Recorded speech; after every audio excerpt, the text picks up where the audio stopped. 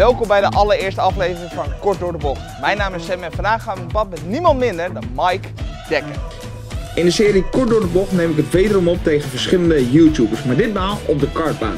Naast een vrije training en kwalificatie neem ik het tegen ze op in een race van maar liefst 10 ronden nadat we ze uiteraard beter hebben leren kennen in de auto. Hey jongens. Een nieuwe RS3. We zitten weer. Mikey, was goed vriend? Ja, lekker jongen. Met jou?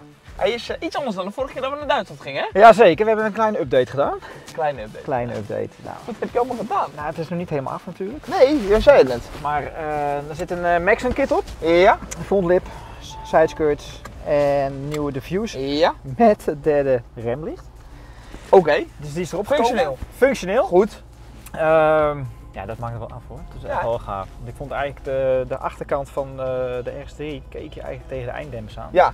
Er zijn heel veel nieuwe auto's toch wel iets minder hoor. Ik vind vooral bij een M2 of zo, die bak die eronder hangt. Ja. Alright. Dus er moest wat aan gebeuren. Dat is gedaan? je- Ja, redelijk gedaan. Ja. Ja. Dus eh, stap, eh, wat is het inmiddels? Twee? Drie? Drie. Ik ben het al kwijt. Twee volgens mij, maar En we goed. op de bank Ja, het is het projectje RS3. Oh ja, dat is natuurlijk de drie. bank, spacers, Eh, nou, het kit. bodykit. Ja, dan de wrap nog straks. Ja?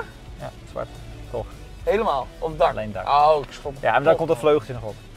Ik me kapot. Ja, en dan vind ik het wel even goed voorlopig. En dan eh, maar afwachten tot ik kunnen tunen. hè. Lekker man. 600 pk toch. Alright man, laten we een stukje Let's rijden. go! Er is één vraag waar ik heel graag mee wil beginnen. Ja. En dat is de vraag, want als ik...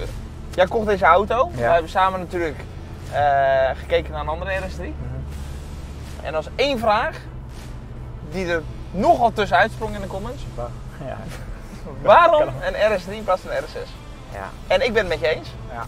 Dat Ja. weet je. Ik ben in, we wisten natuurlijk al van tevoren dat een RS3 niet te vergelijken is met een RS6. Nee. Nee, gelukkig. Want ehm RS6, nou, dat hebben we vaker gezegd, comfort, eh, snelheid, eh, je, hele gezin kan erin, een complete boodschappenwagen kan erin. Daar is helemaal niks mis mee. Ik kan hard op het rechte stuk, maar ik bochtenwerk vond ik gewoon wat minder. Dus Ja. de rijbeleving daarin, en, Nee. hè, we rijden wel eens toertjes, nou ja, we Zeker. zijn laatst Zwarte Woud geweest, Ja. en dat bevestigt het eigenlijk dat het bochtenwerk gewoon veel leuker is. Ja, RS3 is denk ik persoonlijk een, zeker de nieuwe deze generatie, Ja. die wat lichter in de neus is, Ja. is gewoon een leukere auto dan de RS6. Ja. Als je een groot gezin hebt en, Ja, en dat je houdt gewoon van hard rechtdoor, topwagen. Ja. Als je zegt van ik wil een auto die wat speelster is, Mhm. is dit gewoon veel leuker. Ik heb een paar dilemma's verzonnen voor jou. Ja. En dan ben ik heel erg benieuwd wat je daarop gaat antwoorden. Gewoon eventjes tussendoor. Ja. Oké, begin ik en dan wil ik ook uitgebreid antwoorden.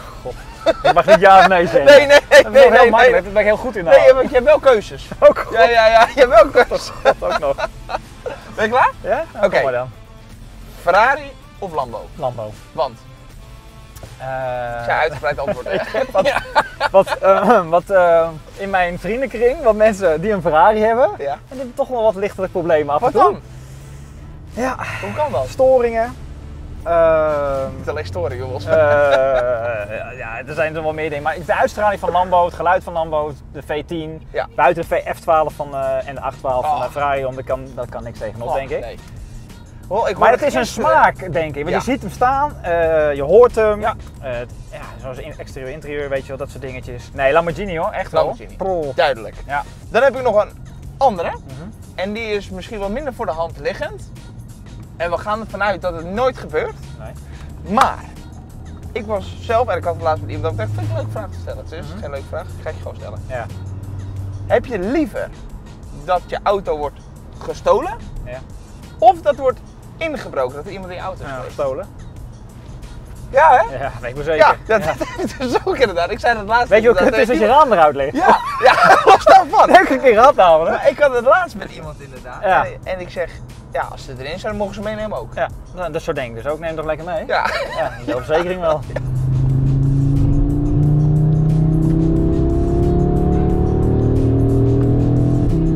Mensen kennen jou natuurlijk van het social media. Ja. Maar dat is niet hetgene wat jij doet. Jij bent niet dag en nacht bezig met auto's. Nee, wat absoluut doe je en wat heb je gedaan? Oeh, wat doe je? Nou ja, goed, ik ben eh, altijd militair geweest. Ik heb 20 jaar lang bij, de, bij het Corps Mariniers gezeten. 20 jaar. Ja, nou ja, 18, zou niet zeggen, hè, 18 maar- plus. Laat het afronden. Ja, ja. Laat het afronden. Dus eh, en dat is echt mijn droom was het altijd om marinier te worden. Nou, dat heb ik echt wel, eh, echt wel van genoten, 20 of 18 jaar lang. Zo. De hele wereld gezien.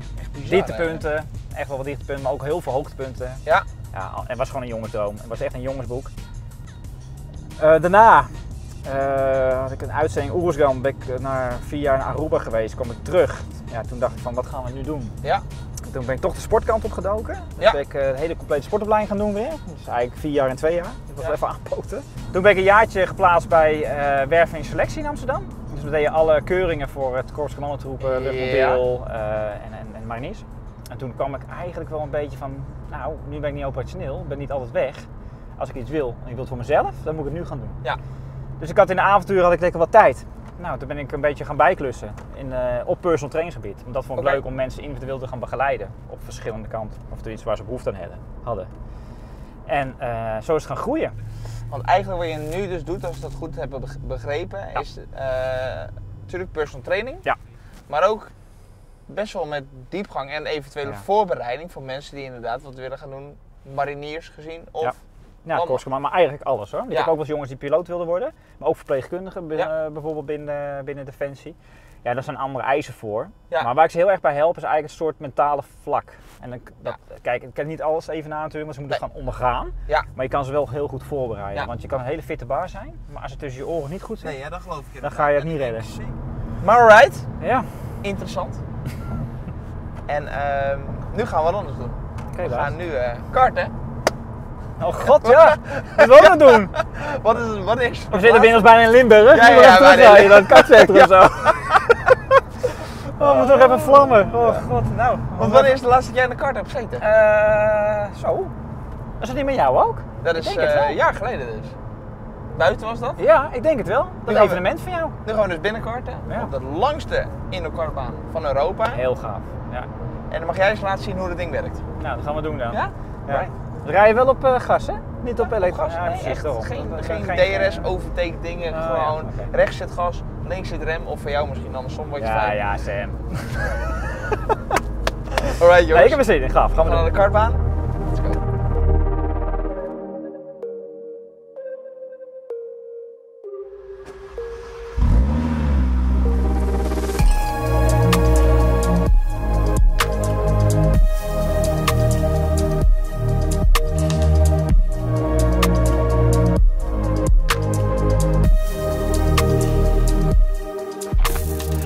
Mikey, ben je klaar voor? Ik ben altijd klaar voor. Heb je nog een paar knappe schoenen nodig? Eh, nou, laten we doen. hè. Jawel hè, want eh, er is tenminste een gelijke strijd. Helemaal goed. Mooi Ja, man. eh. Dankjewel. En dan heb ik daarna nog een verrassing, want als we iets verder lopen, ja dit wordt vet. Ik zie het al. We hebben eigen overals. Nou, top. Eigen overals, dus ook daar kan het niet meer aan liggen. Nee. En dan gaan we zo meteen natuurlijk eventjes een nietje proberen om een knappe tijd neer te zetten, Ja. de baan te kennen. Mhm. En dan daarna gaan we tegen elkaar racen. Ik heb er zin in. Ben je klaar voor? Mooi.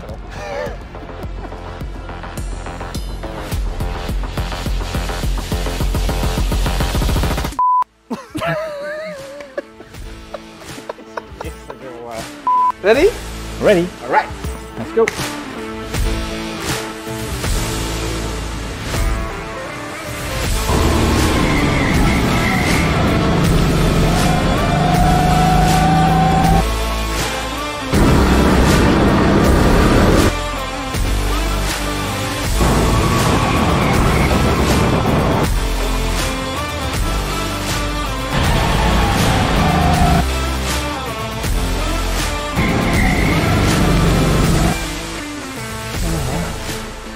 Hier staat. al twee. Ah, Ah, valt mij. Ah, waar kom ik tekort? Ik moet echt even zoeken dan hoor. ik heb ook geen idee. Maar er zijn best wel wat verschillende lijnen. Zijn er. Ja, ik ben die lijn een beetje aan het zoeken nog. Maar 1, Maar 10, dat- 4. Ja, ik zie het. 1, 12, 6. Ik heb nog wat te verbeteren zie ik. maar luister, het was de eerste keer hè? Hier. Jij had vaker gereden. Ja, Wat we zijn, maar, toch. Nieuwe niet, ik ben niet ontevreden, denk ik. Nee. Zal het lijken wat de rest doet. dat zien we het alweer. We gaan zo meteen natuurlijk dus een race tegen elkaar rijden. Ja. We gaan 10 rondjes doen. Dus Mhm. om en nabij gelijk aan een normale heat hier. ja. Eh, met of zonder voorsprong? Die twee seconden wou je zeggen. Ja? is goed. Ja? Ja, natuurlijk niet. We gaan gewoon starten. Jij 1, ik 2. Gewoon Oké, à la, eh, weet ik veel, welke raceklasse. Jij Pol, ik erachter. dat is goed. Ja? Deal? Zei ik altijd ideaal laat. Ja.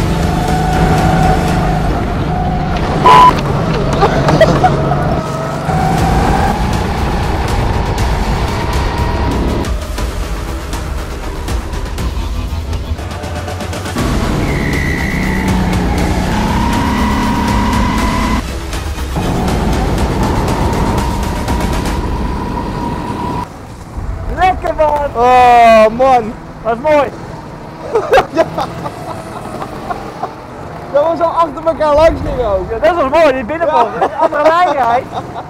Ja, maar toch verschil. Oh, heerlijk man. En net weer overstuur. Ja, goed hè?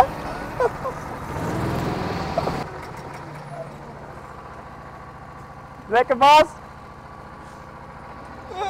Ah.